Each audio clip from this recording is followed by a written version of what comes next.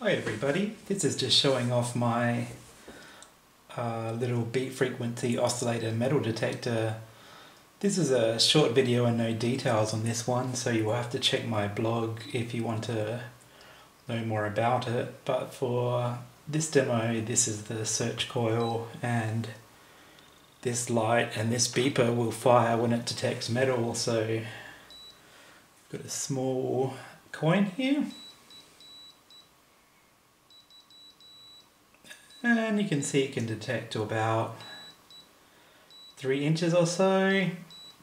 How this detector works is when you bring metal near the coil, the uh, frequency changes.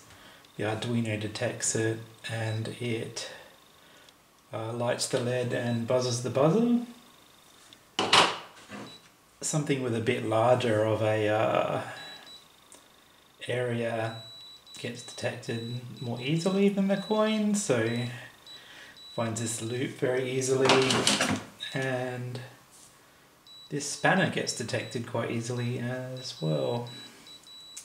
Uh, thanks for watching.